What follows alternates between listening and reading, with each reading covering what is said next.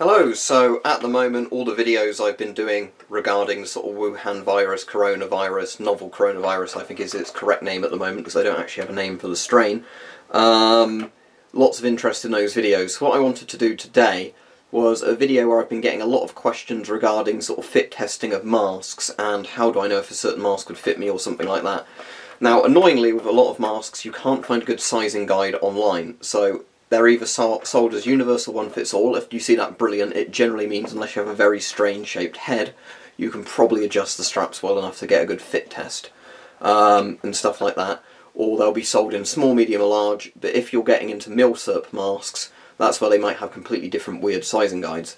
And the annoying thing is, although small, medium, and large kind of makes sense, with some masks, the sizes are kind of like in Soviet masks, 1, 2, 3, 4, they get bigger as the numbers go up in Western masks, or not all Western masks, but in things like I think the Polish MP5 does this, and the British S10 does this, and quite a few others probably do as well. Size 1 is actually really big, and then size 4 is a small, so again, you're going to have to look up your mask, or ask in the comments and see if anybody knows regarding a particular mask. So what I wanted to do is show different types of masks you can get, because the problem people are having now is masks they'd ideally want are just completely selling out. Um, so the bare minimum kind of mask you want is something like this. This is what a lot of people call an N95, but I don't think that's actually the proper term. As far as I'm aware, N95 refers to the variants that are just, um, what's the word for it, just like particle rating 95 as the Americans would do it. In European countries, and I think quite a lot of Eastern Europe and Asia, um, you use P1, P2 and P3. P1 is the lowest level of filter protection for particulates, P3 is the best. So if you're buying one, you ideally want to go for P3. The problem is lots of places have sold out of P3. Um, some doctors on things I've been watching have said P1 masks are good enough for coronavirus. Others have been saying you need at least P2, or some, you know, like me, I've been saying just get P3 because it's the best level of protection. So this is a very good half-face mask for like the cheap dust mask type ones if you're going after the disposable type, simply because they've designed it in a way where it makes a very good face seal. Uh, this one's called the Alpha Mesh. Um, so the reason these are good is this one is FP what they call 2.5 um, although it just says apologies P2 there. Um, so basically this is P2 so not as good as P3 but you generally struggle to find dust masks in P3 you can get them but it's just in general because um, at the point people are going for P3 filters they're normally actually going for full-size masks or you know like rubberized half-face masks. The reason this one is good is because of how they've designed it it actually conforms properly to your face. So this is the problem you get with a lot of masks is that they don't conform very well to people's faces or if you get the wrong size it's not going to offer protection. So the reason, you know, like we were saying about the surgical masks, the doctor's masks people are wearing don't really provide very good protection because while they do stop you rubbing your mouth when you've got the mask on with your fingers and things like that if you've got you know the virus potentially on your fingers what they don't uh, stop is they don't actually filter because they don't sit tight to the face air gets through the sides. So a mask like this is designed to sit tight to the face so I'll just demonstrate this one. So most of these have a neck strap you do up first. So what we do is we'll get that behind the head and do up the neck strap. Then what you do is you get this put it here and you stretch this bit over here. So you've got the top strap going over your ears. You can wear these with glasses as you can see, although you'll need to make sure the glasses aren't breaking the seal with your nose. Now the reason these ones are good is obviously you can now tighten the bit at the back there. Um, and it's properly elasticated and as I said the facial fit of it means it does fit properly to your face. So this one, although it's P2, I think it has a little bit of charcoal in here as well that just is more to do with odour than anything else. Now, um, with fit testing these, the only real way of fit testing them if it's only a particulate filter is by doing a pressure check. Because if you have a full NBC style filter or, you know, like ABEK P3 style filter, you can do a vapor test of something like banana oil. The problem is with particulate filters, that doesn't work because smells travel through particulate filters even if the microns don't. So with these, if they have an exhale valve on them, what you can do is cover the exhale valve and breathe out. And if you see the mask inflate like it just did, compared to normal, you know to somewhat of a degree the mask is working. The only issue with things like this is, of, course, because, you know, these don't really... Uh, I'm trying to think of the word here. Because air can pass through the entire filter medium of the mask, it's very hard to pressure check them. So, as said, this is kind of the minimum level of protection you'd want. So I'll take this one off again now. So, as I said, this one's called the Alpha Mesh and is very good. You can get other brands that are similar to this. In general, I don't recommend masks like this, even though I like this particular brand of one, um, because a lot of them, what the problem with a lot of dust masks is they don't do very tight to your face, you know, don't do up very tight, so then they let air through the sides, um, so it defeats the point of having a filtered mask on.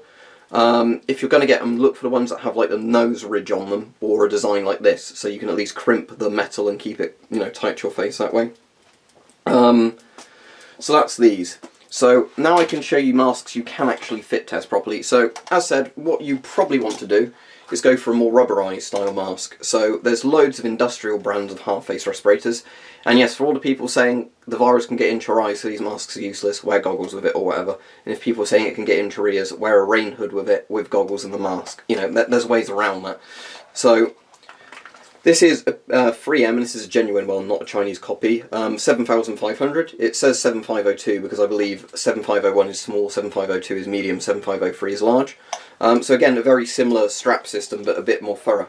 And these are the P3 filters, so the very good ones, the ones equivalent to P100 filters, what you preferably want for something like coronavirus. So we'll do that up again, same principle. Um, but we, I can show you actually how you'd fit test this one. So once you've got the mask on and you do the straps up to make sure it's tight, we'll just check my glasses aren't breaking the seal, there we go. With the exhale valve, if I cover the exhale valve up with my hand and then breathe out sharply, the mask should inflate. There we go, yeah, it's popped my ear. So that's pressurised to a good degree. As said, if you were professionally fit testing masks, you do both positive and negative pressure checks. You'd also um, you know, like use things like banana oil with vapor filters to test it that way. With particulate filters, you can't do that though. But for the people asking, yes, these are very good P3 filters, and the circular disc ones are fine, and the pad ones that you put in front of the vapor filters are fine. So, yep, I recommend those. Any of the 3M half face masks are good, and any of the rubberized ones that are from proper brands are good. I would say though to avoid some of the really, really cheapo no-name brand ones, uh, like the ones that are black and yellow um, because some of those have just, you know, god-awful filters on that even if you get the mask tight to your face, the filters are pretty much useless. And then with a full face mask, there is two potential ways of pressure checking it. It depends somewhat on your mask, because if the exhale valve is in a really hard to reach place, you can't do it. So, And I can show you something with a particulate filter. So let me take my glasses off of this, and no, you can't wear glasses with full face masks. With some masks you can get a spectacle insert, but the problem is if your glasses are going over your ears like that, it breaks the seal of the mask. So Let's get this one again. Put him on. So we'll get the head harness comfy and tighten the straps. There we go. So how you would fit check one of these, with a filter on, you do this. Breathe in, my ears popped again. Now, if you only had a P3 sort of particle filter with a really big front end, which you can't do that with, take the filter off and then fit check this way. It's harder to actually do with your hand rather than the filter. But you can see the masks doing it, and we knew it worked when the filter was on. For doing the exhale check, it, you essentially want to breathe out while holding the exhale valve like I did with the 3M. The only issue though with this mask is um, because the exhale valve is behind the cover, you can't get your hand really airtight to it. So I just try it, but it's not really going to work. But as I said, with most masks, you can find some way of either doing a positive or a negative pressure check, and you'll know they'll work that way. So a question I got, which is a quite important one, is about sort of um, decontamination. So let's say you've been out and about, you've had your mask on, we'll use this one for example, and people have been sneezing and coughing with you, or probably um, near you and all that. I'm probably going to do a full decontamination video at some point, but for just today I wanted to include a thing that I'm getting asked a lot. So one of the things I really like is rubbing alcohol. It's 70% alcohol, but you can get different kinds of sanitizer sprays do some research and see what's available. Uh, ideally, you want something that has no risk of dam damaging a mask forever, which rubbing alcohol doesn't. So there's a very simple way you can do it with rubbing alcohol. Uh, it's literally this, if you get one in a spray bottle. I also can't smell the rubbing alcohol, which sounds very strong, so we know all the filtration and it's airtight that way. So what I'm going to do is now rub all this down with my hands. One thing I would say is if you're using a P3 type filter, rub it along the bottom or any filter, just so you know there's not going to be a load of bacteria. Then what you do obviously is take the mask off. Ideally you'd want to hang it by your door or something, and that smells really strong now. And then what you do is you'd spray your hands again and give your hands a wipe down. Obviously, any contaminated clothing you'd potentially want to do that with as well. But rubbing alcohol is very good in these spray bottles because it's a very strong thing that kills germs and bacteria and you know viruses and everything. But it's in the spray bottle. It's easy to make a fine mist with it. Um, so that's that. Um, another thing I want to quickly say, because a lot of people don't seem to understand this, so I thought I'd just include it in this video as a last sort of little note, is people are saying it's too expensive to buy the full face masks because you have to throw the filters away every time you use it. If you're using a particulate filter, they last literally months, unless you're in like a really smoggy environment or something, um, and they clog up really fast with like dust in it. You'll know that a particle filter is expiring because basically it gets harder and harder to breathe with it because the breathing resistance is going up because there's more stuff getting stuck in the filter. So they actually become more efficient at filtration the more you use them. Um, but eventually the breathing resistance will just become unmanageable and you'll want to replace the filter that way. You don't have to simply throw the filter away when you get back in and spend like £10, you know, 5 to £10 or dollars on a new filter because, um, you know, you've used it that way. Um, because as I said, you can just spray down the outside of the filter. Don't rinse water through the filter or anything like that. The problem is, a lot of the times filter medium will be damaged by the water or whatever. Uh, these aren't water filters, they're designed to filter air. So obviously if you start pouring water through it, especially at high speed, it might, you know, just make bits of the filter soggy or fall apart that way. But obviously there's no harm in spraying a bit of rubbing alcohol on your hand or using a sanitary wipe and basically rubbing down all the outside of the filter that you can get at. Um, so hopefully that's concluded that. I'll be streaming about 8pm again tonight um, because loads of people have been watching those at the moment and I'll happily answer questions again on those. Hopefully this video is helpful. But yeah, so see if you can find a rough sizing guide for a mask before you order it, if it's not a one size fits all mask. You know, tighten the straps and do a pressure check, either a positive or a negative pressure check. Um, there's probably ways around it as well if you can't think of, you know, um, if you can't cover the hole easily, there is probably ways that you could, maybe if you got like a plastic bag, obviously be very careful not to suffocate yourself, but you could probably put that over the inhale and exhale valves and then breathe in and out and check if the bag's deflating or, you know, filling up that way um, to check for sort of pressure problems. But yeah, anyway, um, and yeah, you don't have to throw a P3 filter, P100 filter away every time you use it as long as the filter's in good condition.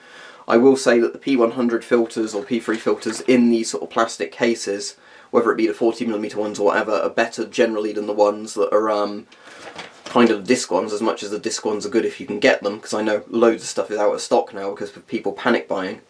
Um, just because it is much easier. Like, the problem is, I wouldn't really want to spray a mask like this down with alcohol spray, because it would start soaking in. The problem is with um, the dust masks like this is they are designed to be more disposable. The reason is if you're wearing this all day, you're breathing in and out through it, you're going to get a lot of moisture and sweat into it, which kind of makes it a breeding ground for bacteria on its own right.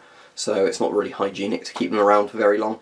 Um, and also, one other thing I'll quickly note is where some people are saying they literally can't get hold of any filters bar one type. Let's say, worst case scenario, you could only get like an A1 filter, like Organic Vapor 1 or whatever.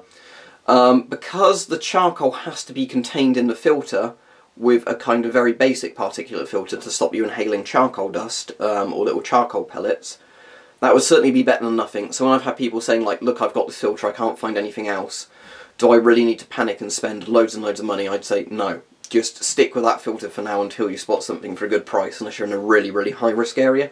But anyway, hopefully that's covered a lot of points people have been asking a lot in the comments, and yeah, I'll be streaming tonight at 8pm if anybody wants to catch that and then ask me questions live so I can answer them easily.